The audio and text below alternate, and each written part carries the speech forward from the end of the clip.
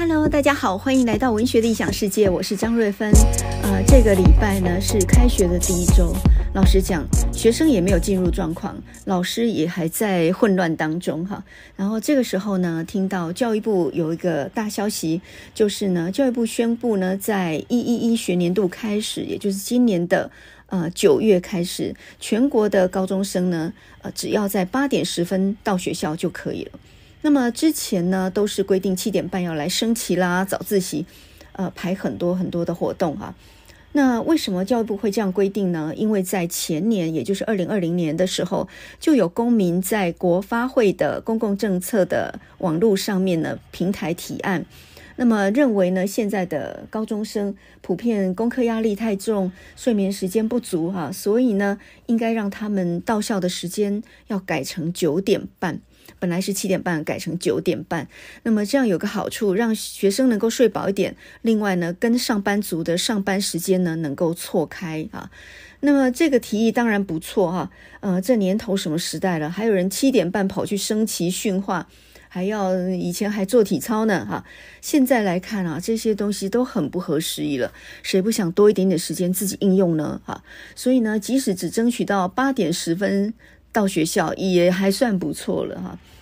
目前呢，国中跟国小还没有同步，因为必须要考虑到家长接送的问题，或者说太早到校，校园有没有安全的问题啊。其实教育部的动作算是慢吞吞的了，因为呢，最近就是二月开始，呃，台北市的成功高中，他们早就把早自习还有朝会就全部都废掉了。那么最近呢，针对于国高中生是不是要晚一点到学校这件事情，呃，有很多不同正反两方的意见交锋啊。那我今天倒是看到报纸上呢，有一位呃高雄市的高中老师哈叶正南叶老师，他的投书上面呢，他说延后上学，教育部是画错重点了。我蛮同意他的看法的。很多人就很单纯的认为说，能晚一点到校，或许就可以睡饱一点。可是我觉得晚睡晚起跟早睡早起其实就是两个不同的作息的节奏啊。那么你可以晚一点到学校的时候，你会觉得晚上把事情做完比较好，所以你无形当中就会熬夜熬得更晚。那么这样的一种循环是好的吗？现在的高中生有多忙？我们来看看他们的一天的行程啊。五六点下课补习呢，大概要补到十点回家，然后还有功课要做啊，忙到半夜那是很经常的事情哦。那在目前一零八课纲要求的考招制度底下呢，高中生每个学期要上传学习历程档案，要上传多元选修心得，来作为他们升学时候很重要的东西，而这东西必须在那个学期结束前做完。所以高中生蜡烛两头烧哈，他又要顾功课、顾考试的成绩，他还要做完这一些所谓的学习历程这种业绩。那么后者这些东西，你就算随便做一做呢，恐怕也要花不少时间哈。我今天呢刚开完一个很烂的会议哦，就是有关于新课纲还有学习历程档案怎么审查这样的一个线上的会议。那有好几个大学还有高中端的校长来讲解这一套政策。我呢，听者渺渺的把这一套听完了之后呢，好像有点懂了。呃，简单来说就这样，各个大学的校系呢，先定出他们的准备指引啊，也就是什么能力尺规，然后呢，给这些要考这个校系的学生来参考。然后呢，高中这些学生呢，他们就要准备学习历程字数哈，另外还有多元表现的纵整心得八百字。加三张图片哈，那么前者呢，学习历程字数那些东西就是比较课业上的，然后呢，多元表现重整心得这个东西呢，呃，八百字加三张图片，这个东西就是课程外面的东西，比如说活动啊、参赛啊等等等这些东西，然后要来展现考生的什么多元表现学习特质、学习成果，呃，不管你用什么树状图、条列式、各式各样图文并茂的 PPT 这样子，我听完之后呢，整个脑袋。好像被打糊了一样啊！我这辈子是第一次听到什么叫做能力尺规啊！一个人的能力是可以用一把尺去衡量的哦。那这个尺是谁制定的呢？呃，那是不是每个消息都不一样呢？这恐怕很难公平吧？能力层次呢，还分为认知、理解、应用、分析。大学审查要重视三三重。二不原则。那么在会议上呢，高中校长就请大学端，呃，要把这些能力尺规定清楚。也就是说，你的能力尺规定清楚呢，学生才知道怎么去呈现他要给你看的档案哈。还有一个叫做自主学习计划。我的天哪，这是什么东西哈？一个高高中生才多大，他必须要先有自主学习的计划，他做什么都要想到如何呈现。这有点像我们现在大学里面开。一个课，那你就必须要你的开课方法、教学的内容必须要对应到后面的产出。我其实很厌倦这一套思维模式哦。那在这个会议上面呢，呃，有些老师就很认真的去提问啊。到底我们怎么评量这个能力尺规呢？哈，到底一个学生的兴趣高比较好，还是得奖多应该给他高一点的分数呢？那或者说呢，呃，合作能力会比解决问题的能力重要吗？它这个比重跟配分如何？另外呢，呃，一个团队做出来的结果，如果拿来作为个人的业绩，这样子又怎么计分呢？我觉得现在当中学的老师真的是很困难呢，真的是可以赶快早一点退休了啦。说准备指引上面就说小论文跟课外竞赛是可以额外加分的。那天啊，要怎么样的竞赛得到什么样的名次才能够呃加多少分？这个真是天晓得。教育部呢口口声声说呃要注意到城乡差距，避免学生陷入。呃，一种无谓的军备竞赛，可是呢，高中端跟大学这一部分完全都是无所适从啊。所以我猜呢，到最后就是不管它了，反正分数都差不多哈。到最后还是看看考试的成绩。到头来呢，花了那么多力气、那么多时间做出来的那些资料，在入学的那个时候就完全变成没有意义的东西了。这跟这个学生以后能不能认真读书、得到什么效果，完全是两码事哦。当这些还在发育的高中生普遍睡不饱，呃，他们普遍有慢性疲劳症的时候，你的教育的成果。一定打很大的折扣，不管你再有远高远的理想啊，很好的政策，我觉得效果都会很差。所以为什么我在第十三集“生生有平板”那一集里面，我一直在讲说，这个教育政策是前瞻而不后顾的，因为它基本没有顾虑到人的身心健康啊。一个小孩只要健康，他学什么不行啊？但是反过来，当他很疲惫的时候，再好的教学内容他也吞不下去啊，吸收很有限。这种年轻人因为晚睡，然后因为每天在那儿划手机、玩手游所导致的疲惫症，在大学校园里面的通识课或选修课就看得更明显了。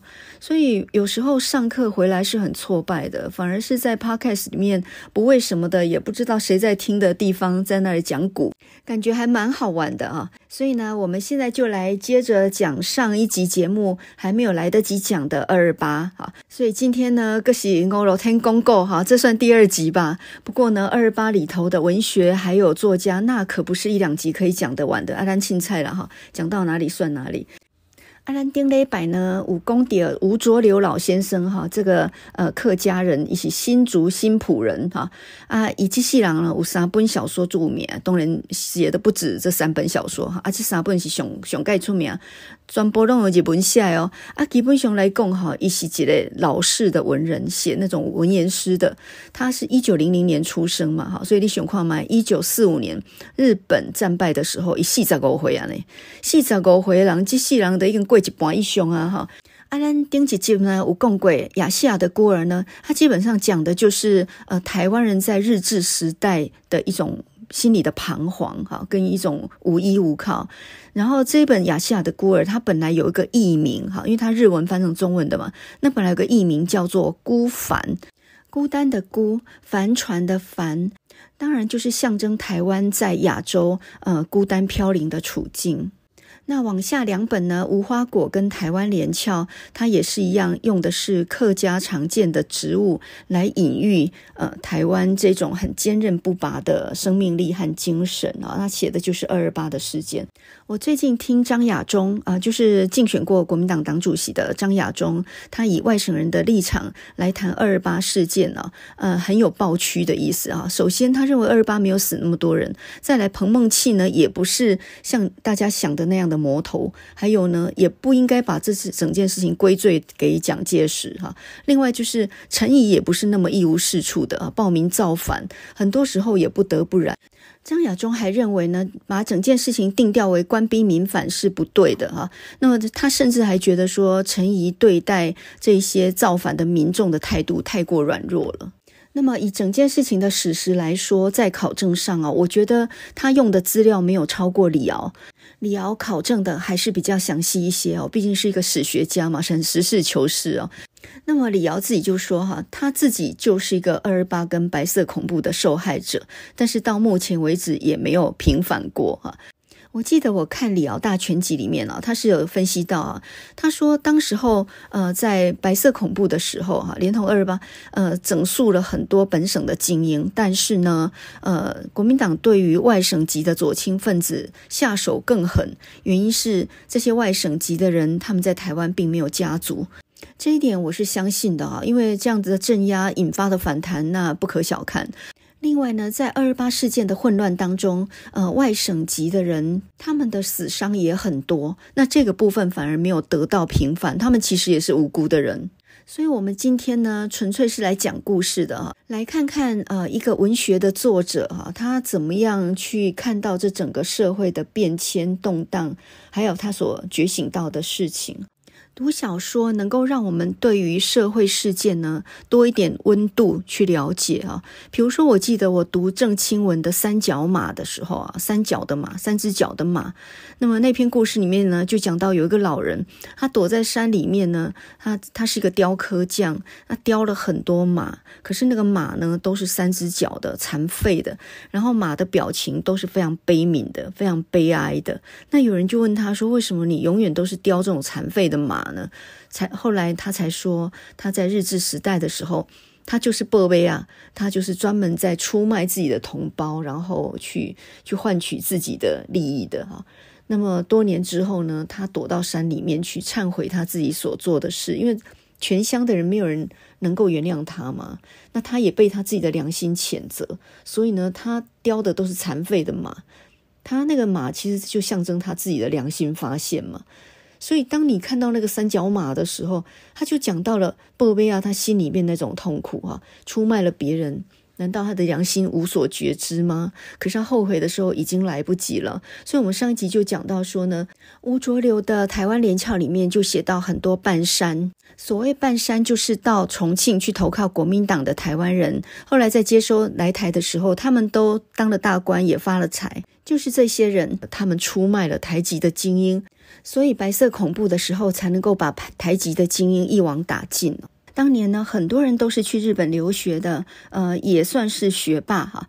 在宁汉分裂之后，呃，蒋介石在重庆，汪精卫在南京，而这些人呢，就是投靠重庆政府的台籍人士。而这些人呢，基本上也是国民党比较比较忠贞的一群人。那么在接收台湾的时候，他们都变成了接收大员、党政要员。上一集我们讲到呢，呃，吴浊流的《台湾联翘》这本书里面的第一百九十三页，就讲到一个天大的秘密，这也是为什么这一本《台湾联翘》一出来就绝对会被禁的原因，那就是他讲出了当年五零年代白色恐怖的时候，为什么那么多台省级的精英被屠杀殆尽？这个名单其实不是外省人自己能够发想的出来的，而是这些。台湾的半山啊，也就是台湾省级，那去过大陆效忠于国民党的这些半山所提供的，那简单来说，他们就是告密哈。那为什么他们要害自己人呢？有没有可能是迫于无奈？答案其实并不是的啊。那我看李敖大全集里面，我觉得李敖他真的也有触及到这件事件的核心，也就是说二二八事件及其后续呢，不完全只是本省级跟外省级的人的对立哦。呃，第四个阶段就是本省人杀本省人，这是李敖讲的哈。什么叫本省人杀本省人呢？就是本省人利用权势排除异己。这些半山利用政府要肃清共产党，顺便把比自己厉害的人清掉，以免妨害自己升官进爵的道路。所以呢，一是邀功，二呢是呃除掉比自己优秀的人。读到这里呢，我真的是倒抽一口冷气啊！台湾人也是有劣根性的，吴浊流的书里面也有讲到。台湾人呢是五个人四个党，非常不团结，所以讲二二八以及白色恐怖，呃，不能完全理解为本省人都是对的，外省人全部都是错的。所以李敖讲的没错，诶，他说在白色恐怖当中受害的很多是外省人，在五六零年代，很多外省人因为帮本省人讲话，然后遭难啊，比如说像殷海光或是雷震啊这些自由中国的，还有李敖也是啊，还有一个躲到美国的聂华苓，诶。聂华苓当时候呢是自由中国的文艺栏主编，也差一点被抓走。后来是因为在美心处的一场活动里面认识了安格尔，哈，美国的诗人安格尔，然后呢跟他去了美国才逃出去的。后来在美国就办了爱荷华工作室。在两岸冷战的时代里面呢，他在海外搭了一个平台，能够让台湾的或是大陆被迫害的作家都能够到美国那边啊。然后这些都是外省人呢，那包括我们之前讲到的，就是知识分子、学界里面的，像台静农啊、许寿裳他们这些人，哪个不是外省人？我们上一集讲到，一九七六年吴浊流在去世之前，他把《台湾连翘》这本书用日文写出来，但是呢，他不能发表嘛，那个时候一发表一定被禁，所以他就交给钟兆政，然后跟他说呢，十年后再把它翻译成中文，然后出版。结果吴浊流呢料的真是神准，因为呢，十年后一九八七年解严，那解严之后的好几年后呢，慢慢的就开始有很多的人敢说出二二八的真相。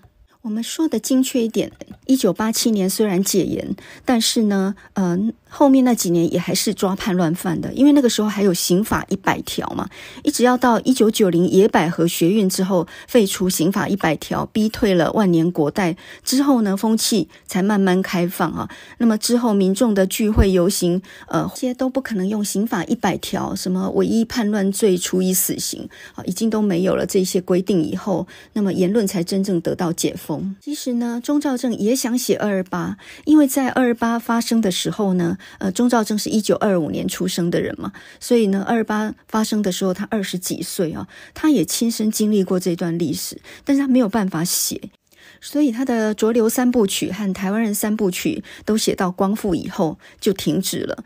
一九四五年呢，日本叫中战啊，国民党呢就叫做光复，哈，都一样了。那李乔的呃《寒夜三部曲》也是写到一九四五，哈。总之呢，台湾文学有一个二二八障碍，那就是谁也写不过这个这个坎儿。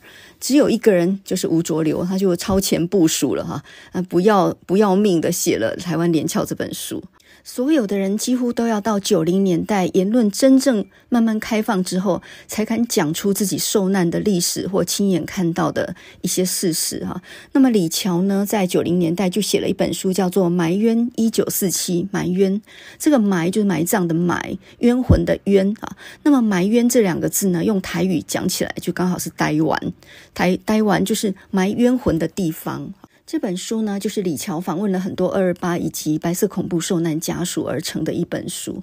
钟兆正呢，有一本书叫做《台湾文学史讲》，前卫出版社出版的。那这本书呢，就是到桃园的武林高中去演讲的时长。武林高中是不是那个升学率很高那个学校啊？好，总之就是，呃，钟兆正呢，在九零年代才开始到处去说他经历过的时代，也就是开始讲他的口述历史，他对于台湾文学的期望啊，他自己写作的历程等等。那么包括呢，二二八处理委员会啊，这些呃口述历史的调查，都是在李登辉当总统之后，一九九五年以后才慢慢开始挖掘出来的。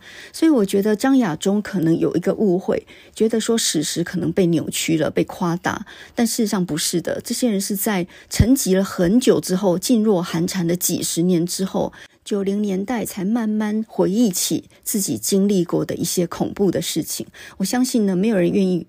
回忆起这样的事情，哈，甚至心里面还隐隐的是有一个阴影在的。如果一个入窟事件的幸存者，呃，当年是小孩，现在已经是老人的这么样一个人呢，回忆起当年军队呢是怎么样的刑求逼供这些无辜的村民，然后他的自己的家人被杀害，全村几乎被灭村，想到这个还能够泣不成声，我觉得这个虚构的可能性是很小。说真的，Anti 马伯跳老 N 呢？我们上次讲到吴浊流的雅西亚的孤儿，还有无花果，呃，几乎都是一出来就被禁了哈，是非常的坎坷嘛。那这个台湾连翘呢，当然就更是了。可是钟兆正他自己的台湾人三部曲呢？第一部呢叫做《沉沦》，第二部叫《苍冥行》，第三部叫做《插天山之歌》。那么也是非常坎坷啊，在刚发表的时候就一路被禁啊。那么他刚开始是发表在呃李万居办的公论包上面，结果呢一刊登出来就被禁，稿子呢就被警备总部拿走了，然后一扣呢扣一年不还给他哈，那当然就登不下去了。警备总部说呢要审查完再看看能不能放行啊。后来这个台湾人三部曲呢，刊登在台湾新文化哈，总共呢刊了六期，被禁了五期。那当时候呢，许荣淑他们就把它印出来个单行本，一印出来就被禁。那么钟兆正自己印也被禁。当时候钟兆正还接编吴浊流留下来的台湾文艺，那这个文艺刊物呢，呃。销量也不是那么好的。那当时候有很多的出版社，像台湾出版社、台湾文库等等啊，几乎出的书都会被禁的。比如说，呃，出无花果一出就被禁，出彭敏敏的《自由的滋味》那也是被禁的啊。所以，呃，钟兆正就说，顶着台湾两个字，好像都要受苦。所以，台湾这两个字啊，真的是倒霉的象征啊！哈。不但无利可图呢，可能还要拿命去搏呢，哈。所以呢，呃，张亚中可以不用再怀疑了。说真的，没有好康的。如果说一本书呢，冒着杀头的危险也要写的话，我觉得他一定有非写不可的理由，所以从这里来看呢，钟兆正一九九六年在武林高中那十场演讲，完全可以用来验证吴浊流台湾连翘里面讲到的二二八事件，以及这个事件的起因是什么。当时候本省级的精英对于外省人来台的时候的感触是什么？哎，我觉得另外还有一本书也很值得看，就是一九九一年的时候呢，叶石涛也出了一本叫做《一个台湾老朽作家的五零年代》。叶石涛呢，他是真正坐过三年的牢的，一九五一到一九五四，也不过就是多读了几本马克思的书就被抓走了。他们都是一九二五年出生的人，所以叫做北中南叶哈。北是钟兆正在桃园龙潭，南就是台南，就是叶石涛。说到叶石涛呢，我很惊讶的发现，天啊，他家就在我家旁边呢。叶石涛出生在白金町，又叫做打银街，哈，打银子。那么那一条街呢，其实就是很多银楼聚集的地方，具体就在现在的忠义路到民权路之间，现在还很多银楼。我小时候就住在那个地方。当时候我们住的是我大伯的房子啊，他是台南市的一个医师，蛮有名的一个联合外科诊所的医师。台南人是很尊敬医师的哈。那我大伯在台南行医大半辈子啊，他说台南起差不多八几半，可见呢，医师在台南人心目当中是很有名望的。那个地方以前就是市中心，所以叶石涛小时候家里很有钱哈，是地主阶级，这是确定的。那我们今天呢，就用北中南叶这两个人的说法来印证吴浊流在台湾联翘里面说到的二二八事件。我们来看看这三个人的说法是不是一致。至于那几个出卖本省级精英的半山呢，这个我们晚一点再讲哈。为什么独独吴浊流知道这个秘密呢？很简单呢，因为他那时候是一个新闻记者，他有很多的朋友哈，有一个同样是客家人，然后曾经当了呃省政府民政厅长。这个客家乡亲呢，偷偷告诉他二二八的时候，国民党是怎么抓人的，这些名单是谁提供的。所以呢，吴浊流就把这个写进去了台湾联翘里面。而当他把日文版的这一本书交给钟兆正的时候，本来原稿上还有个排行。第一名的，后来他自己就把它杠掉了。所以呢，现在在台湾联翘上面，我们看到的名字，那些名字是第二名、第三名、第四名，总共有五六个人。当时候呢，吴浊流把台湾联翘给钟兆正的时候，那时候那些半生大概都已经去世了哈，但是那个第一名还在。那大家不妨自己猜猜看，那个人是谁哈？七零年代中后期他还活着就对了。我们现在呢，就来听钟兆正公跨买哈，呃，讲讲二二八的故事哈。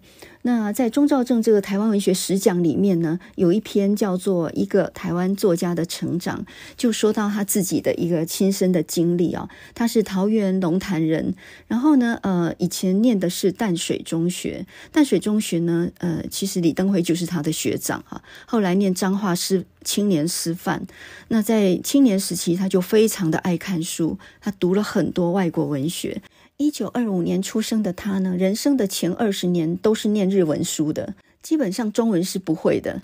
那在一九四五年，日本说中战哈，那国民党说光复。总之，一九四五年的时候呢，他刚好二十岁，他去当兵，当了半年以后，呃，根本没有真正上战场，然后就已经回来了哈。当兵半年呢，呃，他的耳朵呢被炮击的声音给震到哈，所以他就呃听力受伤。后来他好像一个耳朵是听不见的。在战争的最后期的时候，日本政府全面禁用。中文哈，但是呢，到了光复后一夕之间，国民党政府呢是呃全部禁用日文，所以为什么说呢？这是失语的一代哈，跨越语言的一代，就是他们随着政治上的变迁，先是被禁用中文，再来是被禁用日文哈。那当时候不会中文的人呢？用日文写了文章，还要翻译成中文才能够刊登出来。我们现在很难想象语言的转换哦。对于那种读了二十年书都是用日文的人，怎么样可能一夕之间你自己会的全部都不能用了？然后你二十岁开始学波波摩佛哈？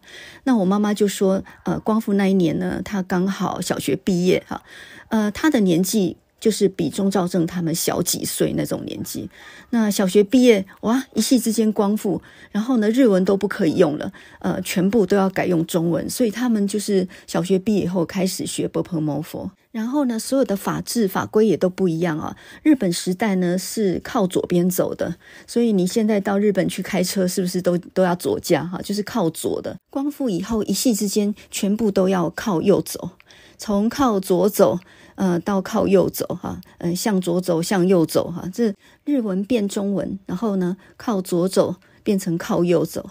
现在想起来好像是笑话，可是那是事实。台湾刚光复那个呢，呃，对于能够回到。呃，中国的怀抱里面是欢欣鼓舞的，是敲锣打鼓的，哈，是非常高兴的。那么是对于中国抱有很大的期望的这一点，钟兆正跟叶石涛的说法是完全一样，连跟吴浊流也是一样的，哈，加上我妈妈也是一样的。那根据钟兆正的说法呢，那个时候呢，大家对中国都抱有很大的期望哈。他自己非常用心的学中文，然后呢，开始勤于补习，然后呢，非常高兴的学中文哈。那每一个当时候教中文的老师，每个人口音都不一样。比如说，在他家附近呢，就有一个广东省。的一个老师在教中文的，那他讲的中文呢，不是北京话，他讲的中文跟广东话一样的，所以呢，呃，当时候教中文的老师可能南腔北调，但大家还是学得很积极。那么当时候呢，台湾社会在被日本建设了二十年之后，接上了现代化的风潮，所以在各方面呢，工业各方面都比大陆还要进步，还要现代化哈。当时候台湾人普遍的想法是，台湾人的医疗还有科技、工业各方面的水准呢，可以协助落后的祖国建设成现代化的帝国。所以呢，即使是上岸的这个呃国军呢，穿得破破烂烂哈，然后看起来就跟叫化子一样，毫无军纪。台湾人在海岸边盛大欢迎国军登岸的时候，虽然心有点凉，还是抱着很大的期望的哈。所以刚开始只是看到这样军容不整，只是有点失望。那么这个期望到什么时候才破灭呢？就是二二八事件发生的时候，这个很大的期望终于落空，然后整个幻灭。吴浊流呢，在无花果里面，他就讲到，当时候外省籍的军人，他们上岸之后，呃，看到台湾的很多建设，他们都大开眼界，很多东西他们没有看过哈。比如说呢，水龙头这个东西，他们以为去买一个水龙头，去装在墙壁上面，水就会流出来，这真的是太神奇了。但是他们根本就不知道有水管这件事情，你要先买水管，然后呢装上水龙头，那水才会流出来啊。可是居然有外省籍的军人呢去买了水龙头，以为装在墙壁上水就会流出来哈。有很多士兵，他们来自于比较乡下的地方，所以呢，他们连火车、电灯这些现代化的设备都没有看过。雅贤就是一个很典型的例子啊。那诶，雅贤还是我老师呢，大学三年级的时候教我编辑的。好，这个以后再说啊，因为那个时候他是联合报副刊的主编哦。那雅贤本名叫做王庆林，他是来自于河南的乡下，然后他十七岁的时候来到台湾哈，他自己说一九四九年的时候，他跟着孙立人的部队在高雄上岸，当时候他才十七岁哈，算是娃娃兵，隶属于陆军的一个通信连，驻扎在台南的旭丁营房哈。那这个地方具体在现在的哪里呢？就是成大，成大光复校区那边的旧文学院哈。那当时候是军营，所以雅贤有一次呢，他回到成大去担任住校作家，然后就回忆起他当年很小的时候，十七岁的时候，那一棵榕树有没有？就是那一棵国泰世华那一棵榕树就在那里了哈。那后来雅贤呃，他去念了政工干校，呃，在在复兴岗嘛哈，然后呃，当联合报副刊的主编，这都是以后的事情。他现在人在加拿大哦，已经移居国外很久了，诶，今年已经。恐怕九十岁有了哦，然后最近呢，他要在红范出版一本叫做《雅贤回忆录》，三月要出版哈，呃，大家可以期待，我也很期待看他这一本回忆录，一定会写到这一段的哈。雅贤为什么笔名取为雅贤呢？那是因为他少年离家，然后非常想家嘛。然后在营房那个地方呢，就曾经在那里拉二胡，哈，一边拉琴一边掉眼泪，然后听的二胡的声音好像在泣诉一样，哈，好像哑哑吐哀音。所以呢，他就为自己取了一个笔名，叫做雅贤。他自己就说到呢，当年他才刚来台湾的时候，那真是大开眼界啊，因为从中国乡下的地方来。在营房呢，第一天站岗的时候，班长就交代他说：“十一点半记得熄灯。”那时候雅贤呢，立马出现两个问题，就是第一个，什么叫十一点半？第二个，怎么熄灯呢？他看不懂钟表上面的长针短针是什么意思哈？那呃，有人跟他讲说啊，现在十一点半了，好，那接下来怎么熄灯呢？他就用那个刺枪去戳那个灯泡旁边的地方，他以为那样子可以熄灯，他不晓得说墙壁上是有一个按钮的，一按就可以熄灯了。所以可见呢，台湾当时候呢，在各方面都比大陆进步啊，这个是一个事实。而当时候呢，来接收台湾的国军非常的贪污腐败哈。很可能陈仪自己己并不是一个贪污的人，但是呢，他管不了他的手下，所以这些贪污腐败的事情呢，非常的多哈。来接收，他们只是想要发财而已，那种发财跟做生意的发财是不一样的哈。钟兆正就说呢，台湾人为什么会破灭呢？因为很快就发现到从祖国那边过来的，不管是来接收的官员或者是国军，呃，你亲眼目睹了之后，就会知道要建设什么都是不可能的事情。当时候日本人战败，然后呢仓促要要离开。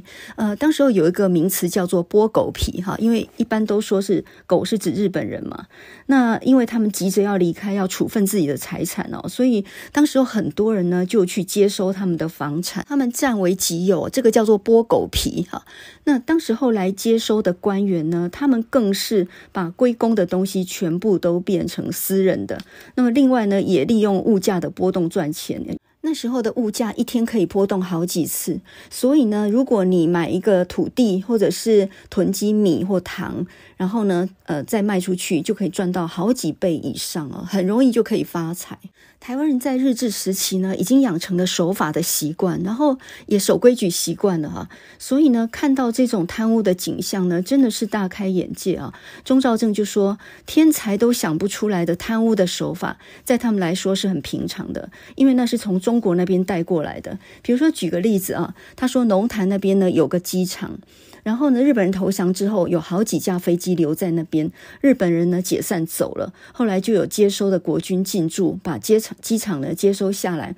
那么当时候呢，他就住在靠近那里的地方啊。他在龙潭国小教书，然后每次呢看到那些飞机亮闪闪的，很漂亮，就觉得心里面有一种安慰啊。日本这么先进的飞机，居然现在变成我们的了哈，他就感到非常高兴。可是过一阵子以后，他就看到那个飞机闪闪发亮的亮光就。就逐渐没有了，因为它在生锈。那为什么会锈的那么快呢？他百思不解。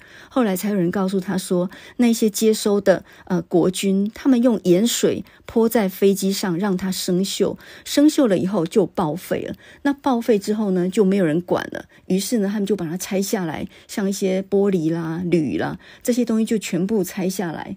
然后呢，去零卖这些铝呢，就大量卖到民间。那民间就把这些铝熔掉以后做锅子，所以呢，呃，当时候就出现了很多煮饭煮菜的锅子哈。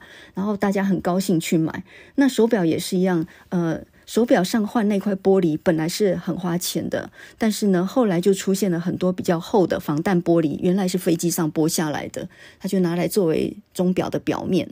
由此可见呢，当时候呃贪官污吏之多啊。那时候吴国吴浊流写过一本书，叫做《波斯坦科长》，他讲的就是来从大陆来台湾接收的一个官员哈，怎么样去掠夺台湾的财物跟女人这样的一个故事。在二八事件一九四七年二月二十七号呃之前，台湾的社会上面其实呢已经很不稳定了。当时候的米、糖还有很多的民生物资的供给呢，都是一日数涨哈，然后人。人民的生活非常的困苦，而就在那种情况底下呢，就天马茶房的茶气私烟这样的一个呃小小的擦枪走火呢，就成为压倒骆驼的最后一根稻草。那其实它也就是一个导火线哈，就全面引爆。所以二二八之前，台湾社会其实已经脱序了。在二零年代呢，日本政府呢几乎已经把霍乱、伤寒、疟疾这些病、流行病已经都完全绝迹了。可是国军才接受了一两年，流行病就大爆发。当时候物价腾贵，哈，失业、贫穷的情况呢比比皆是，所以呢民怨四起。那再加上呢外省籍呃欺压本省籍的事情也很多，所以已经是在引爆边缘。关于呢，一九四七年二月二十七号晚上在天马茶房前面呃爆发的这个事件，吴浊流他是这样记载的，因为他当时候是新生报的记者哈。那么这个报纸呢，日治时期叫做台湾日日新报，光复后呢改名叫做新生报，他的办公室呢就在延平南路。二月二十七号呢，吴浊流他刚好在报社编第三版的版面，夜里大概八点的时候就出了事情了。那么这一天呢，专卖局的查气员哈，包括傅学通还有叶德根等六人，他们到台北市延平北路一带去取缔私烟买卖。那么在下午七点左右呢，查到了这个天马茶室的顶阿卡下面有一个香烟的女摊贩，叫做林江麦，她大概四十岁左右哈。那这些查气员打算把把他的香烟跟他的钱全部没收，可是呢，这个女人呢就死抓着他们不放，就说这是我们全家吃饭的钱，不然的话呢，你至少把一部分的东西还给我们。可是他们不答应，于是呢，就呃，就是用那个枪托。打他的头，那这个林江迈被打伤，血流如注啊，昏倒在地上。然后民众看到以后被激怒，于是就追着去打那个查气员。那么这个查气员呢，最后逃进永乐町的一条窄巷里面，可是，一大堆人包围他们，所以他们只好开枪。然后呢，开枪的时候误中了一个市民，叫做丹文 K 啊，陈文熙，当场毙命。那这个时候呢，呃，这个民众被激怒，于是呢，就呃这个。包围到警察局去哈，因为这几个查气私烟的就躲在警察局。到了第二天呢，也就是二二八这一天呢，很多人就开始聚众，然后呢往行政长官公署哈陈仪的行政长官公署那边去陈情。然后呢，队伍里头有很多是本省人，当然也有一些是外省人的，挤满的民众。那么当队伍的前头渐渐接近长官公署的时候，突然屋顶上的机枪呢对民众开火哈。排在前排的一排人先应声倒地，然后向城内四散。那么这个时候的人们呢，已经是非常的激愤了，已经失去理智了。看到外省人就打，所以他们包围住专卖局的台北分局，然后呢，他们也占领了。呃，当时候的广播公司开始向外广播。那另外呢，呃，菊园百货也被他们冲进去哈。当时情况非常的混乱。后呢，很多年轻人认为说，让外省警察有武器一定会很危险，所以呢，也把警察局的武器都接收下来了。当天警备司令呢就宣布了临时戒严令。这时候呢，陈仪他一方面呢筹组二二八。呃，这个处理委员会，然后呢，另外一方面打电报给蒋介石说，台湾人开始打外省人了。然后呢，呃，他的报告里面就说呢，因为这边有很多共产党的分子啊，所以呢，要求蒋介石出兵镇压。根据吴浊流的《台湾联翘》里面，他说到很多的细节啊，那么他就说到呢，这件事情的起因本来是很单纯的，因为本省人不再信任外省人警察，所以认为他们持有武器是很危险的事情哈，不如。取下他们的武器，自己来维持治安哈。他们的动机是很单纯的，而且没有野心。那么这种天真的行动呢，显示出来台湾人的幼稚，也可以说是呢，台湾人对政治上是很无知的。呃，台湾人那个时候呢，他。他们怀疑说外省的警察他们是假借取缔私烟，事实上呢是连同不是私烟的专卖局的东西也抄走，以便自肥。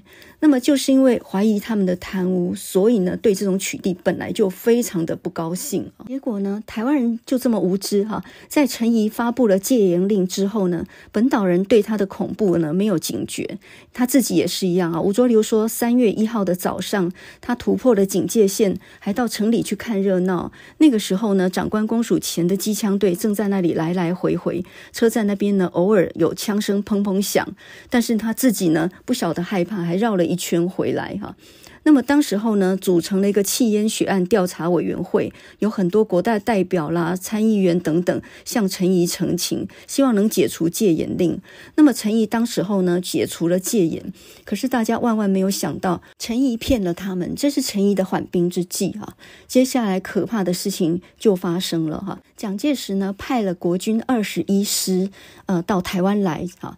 那这二十一师呢，总共大约有一万多人，他们本来在苏北剿共。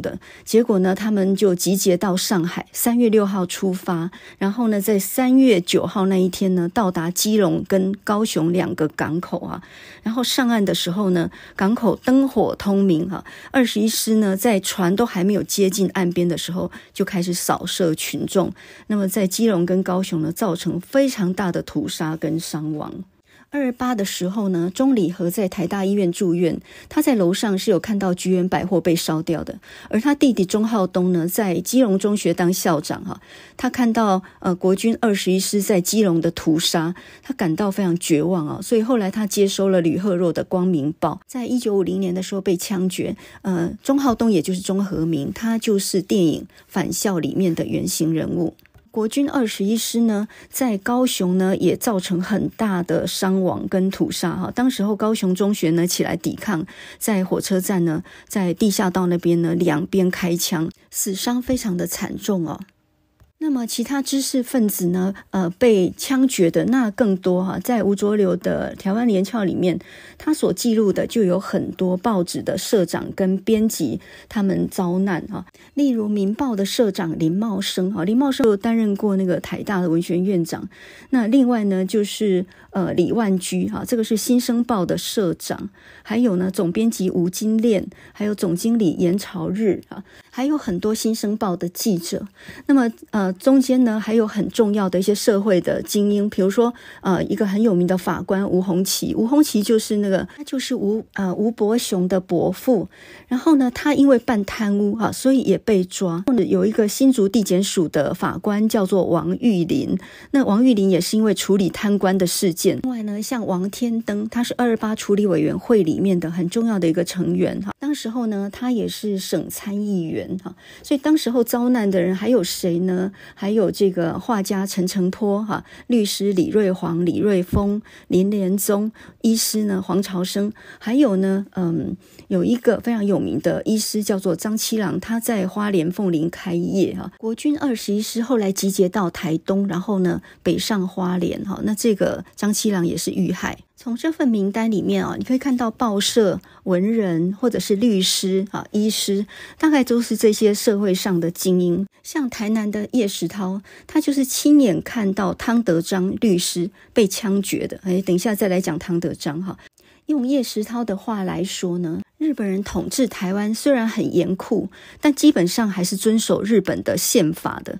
可是呢，像二八事件这种滥杀无辜的这种呃逮捕异己啊、滥杀无辜这种现象呢，他说这种没有法治根据的独裁体制，台湾人是没有见过的，所以没有办法接受哈。呃，以日本统治底下来说好了，如果说你当面骂警察或者是讲政府的坏话的话，那那么这个叫造反罪。那么造反。罪的话呢，罚款或者是违警啊，依情节的轻重呢，呃，短则三天，那重则大概二十九天左右哈。所以那时候杨奎在日治时代就常常抗议嘛，然后那时候常常就被日本政府抓，常常呢他是骂警察或者是骂体制，然后。呃，杨奎常常把换洗衣物都带在身上，因为他动不动被抓。然后呢，呃，这个常常就是被抓去关三天，放出来这样子。结果在二二八事件的时候呢，他也被抓了哈。那起因是因为他在上海的大公报上面写了一篇和平宣言。那这里头其实就讲到说，台湾人应该跟外省人合作，建立台湾成为三民主义的模范省。照理说，这样的讲法也没有什么太大的问题。可是他不晓得为什么被抓。那那时候呢，他心里想说：好吗？那再去关三天被放出来，就没有想到呢，被判了十二年，领到这辈子最高的一笔稿费啊。那么，对于二二八事件呢，叶石涛的观察，我觉得是很敏锐的。他说，二二八处理委员会里面这些台湾人，他们不擅长跟官府争斗，又被廖北亚打乱啊。这个廖北亚就是内奸呢，也就是说，呃，该逮捕哪些人，这张名单是自己人开的，那当然是一网打尽呐，哈。非常惨啊！那个时候，上面的知识分子普遍呢，不是报社的记者，不然就是老师，再来律师或者是医师哈。那么叶石涛呢，就自己亲眼看到汤德章被枪决这件事情。现在如果你去台南玩的话，那么你会知道有个地方叫做民生绿园哈，现在叫做汤德章纪念公园。以前小时候我们常去那里玩，然后我们都叫做呃那个地方呢就叫民生民生一环哈，民生圆环呢。或者叫民生绿园。汤德章就是在那里被枪决的，哈，这是一个非常有正义感、非常有勇气的一个人权律师，哈。我们现在呢只知道三月十四号是白色情人节，哈，但是呢，呃，没什么人知道三月十三号，在二零一四年的时候，赖清德当市长的时候，他就把这一天，哈，就是他的受难日，一九四七年三月十三号，汤德章被枪决那一天，就把它定为正义与勇气纪念日，哈。说到汤德章这个律师呢，他是非常传奇性的啊，他是一个混血儿，他父亲呢是一个日本警察，在。呃，交八年事件的时候呢，被杀。他的母亲呢是一个周族的原住民啊，所以呢，他呃汤德章是从母姓啊，姓汤。因为八岁他父亲就去世了嘛，所以他家里非常穷。然后呢，他考上了台南师范，但是呢没有念完啊，被退学。原因是什么？因为他们家穷到没钱去买制服，然后他母亲只好自己缝一件制服给他穿。可是老师却说这不符合规定啊，打他操性不及格。他就把制服脱下来摔到老师的脸上，那我不念的可以吧？他就去做苦工哈。后来呢，靠自己苦学，在二十岁那一年呢，他就警察学校毕业，然后呢就担任一个警察，也算是有了一个不错的工作。可是呢，当场他遇到一个事件，就是日本人开车撞死台湾人。那个日本权贵呢是一个医院的院长，结果呢法律居然轻轻放他了事。那他没有办法接受这样的事情，愤而离开警界哈。也因为他当警察，在一一群日本警察当中，他是台湾人嘛，所以呢，他一直是很被贬义的。他就发愤图强呢，到日本去念了四年的书，考上了律师执照回来。那个日本的律师执照是很难考的哈，听说只有东京地大那一种才考得上的哦。那那个时候因为去日本念书嘛，他就改名叫做板井德章，因为他的父亲就姓板井哈，所以呢就改名叫板井德章。四十岁那一年，他回到台湾，改把他名字改回来，叫做汤德章啊。那他认为说，呃，有正义感的人，那做一个律师呢，就可以帮无力者发声，可以帮助这些无助的人民哦。那么当时候呢，因为他也算社会上一个有头有脸的人物了，那么陈毅政府呢，想要找他做官，叫他做公务员训练所的所长。他不愿意哈，他说了一句话，他说要在中国当官要有贪污的心理准备，那他就是不愿意哈。那么第二年呢，二二八事件爆发，各地年轻的学生呢都组织起来哈。那么包括像台南呢，也是成大工学院和台南师范为主的学生，他们就开始呢要聚众，然后要来抵抗。那这个时候呢，嗯。军队镇压到台南的时候呢，呃，知道他当时候就是汤德章呢，当时候被推举出来是二二八委员会的代表，也是协助安定地方的，所以他跟这些学生有联系，这些成大的台南师范的学生是有联系的，而总共有几百个人决定要用自己的能力来保卫台南，哈。军队一到台南呢，就先抓了汤德章，并且呢要他供出所有人的名单。那听说呢，当汤德章被刑求的很惨哦，因为呃他的肋骨整个都被打断了，然后呢到最后呃游街示众哈，然后呢被枪决，就当场在这个公园被枪决。然后呢，他不管怎么样被逼供，他还是死都不说那些名单，而且呃早早就已经把名单用碎纸机整个碎掉了。那也因为他一个人人承担下来哈，他就说死我一个就够了嘛，所以他一个人承担下来，他救了恐怕几百条人命，或者说是几百个家庭哈。一九四七年的三月十三号，他游街示众完之后就被枪决在公园，然后曝尸三天哈，不准收尸。汤德章完全是死很冤枉的，因为他完全没有叛乱的意图啊，他还试图要协调呢，就好像陈澄波一样啊，画家陈澄波，他本来是作为代表要去跟官方协商的，就没有想到当场就被杀了哈。那汤德章呢是很冤枉，所以后来呢，三月中旬的时候呢，白崇禧将军来台安抚，然后汤德章这个案件呢，最后被最高法院判无罪，可是人早就死了。当时候呢，叶石涛亲眼看到汤德章被枪决，我相信他心里的震撼呢，诶，不会小于那个吴浊流在台北亲眼看到二二八事件哈。叶石涛他自己在一九五一年的秋天被捕，也是因为读了很多台共的书，认识这些人，就这样而已。所以他后来被判的罪名叫做知情不报。光这样也能够关个好几年哈！一九五四年的秋天才出狱，然后呢，他自己还记载说，六零年代，呃，他有一些朋友出狱了嘛，然后呢，他还曾经，呃，因为提着一些物资去看他们，因为这些朋友都找不到工作，很穷，然后就因为去看看朋友，结果又被抓。而且是在课堂上哦，他正在上课，然后当场就被警备总部的人带走哈。那时候已经是一九六零年代了，然后呢，这个还是一样疲劳审讯哈，呃，这问了很久，然后写了满满三大张的口供，这样子问来问去，他去探望政治犯，那也不过就这样而已啊，那是他以前的朋友哈。结果呢，呃，当时候六零年代还有特务，也还有这种思想审查哈。叶石涛看这个特务呢，连一个特赦的赦都。不会写，因为那时候叶石涛就自己说啊，我曾经被关过几年，然后被特赦出来了。那那这个特务呢，连赦都不会写，还叶石涛帮他写。叶石涛呢，在五零年代被关了三年，一直要到一九九一年，他才说出他自己心中真正的感觉。这同时也是对于二二八，还有对于白色恐怖事件的一个我觉得不错的界定啊。那叶石涛就说，二二八跟五零年代白色恐怖完全是两码事。二二八是一个擦枪走火的事件，可是呢，五零年代的白色恐怖那是有计划的肃清台湾岛上的很多想法跟。国民党政府不一样的人，包括跟唐山毫无关系的各种政治结社，他的说法跟钟兆政是一致的哈。他说，光复初期呢，台湾的知识分子其实没有台独思想，倒是有左倾的社会主义的倾向哈，都比较倾向站在弱小的贫苦的民众那一方。以作家来讲呢，吕赫若跟杨奎哦，这两个人大概要另外另外再讲一集哈。这两个大概就是很典型的站在。贫穷的人民那一方，并且呢，日文写得非常好的作家。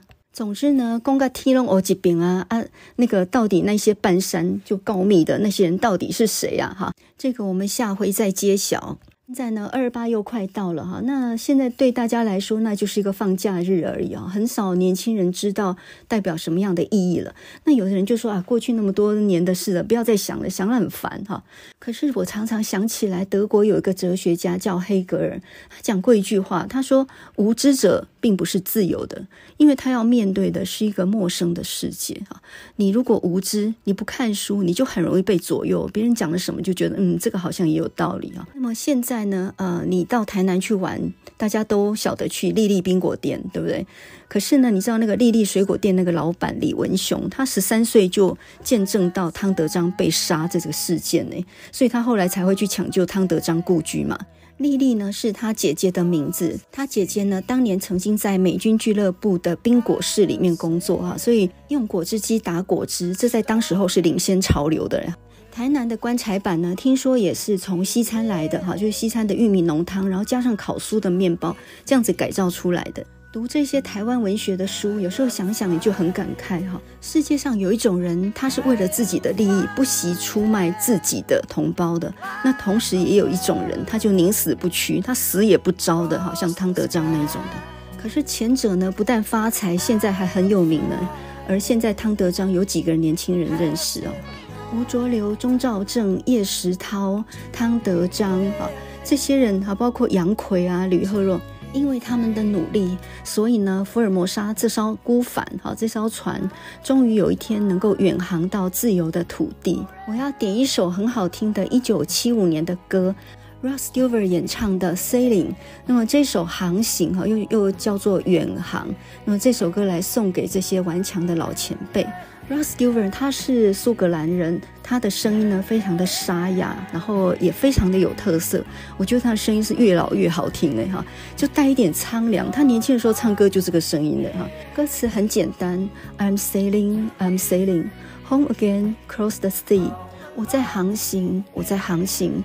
越过海洋，我要返回我的家乡。航行在波涛汹涌当中，只为了要靠近你，只为了要得到自由。To be near you, to be free。那么下一段就是 I'm flying, I'm flying。好，我在飞翔，我在飞翔，就好像一只鸟儿飞过天际一样。我飞过天空，飞过白云。To be with you, to be free。只为了要跟你在一起，只为了自由。这一首 Sailing。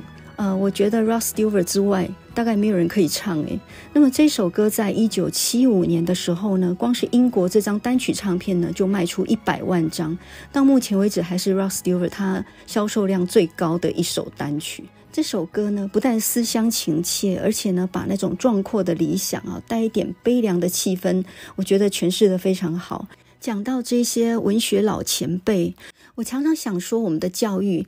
如果哪一天能够让学生多一点点对文学的理解，或者对作家的重视，那难道不会比呃晚半个小时上课啦，或者忙着去做学习历程档案呐，或者去读什么本土语呀，难道不是更好吗？那我们现在呢，就来听这首好听的《Sailing》航行，一九七五年 Ross Stewart 唱的。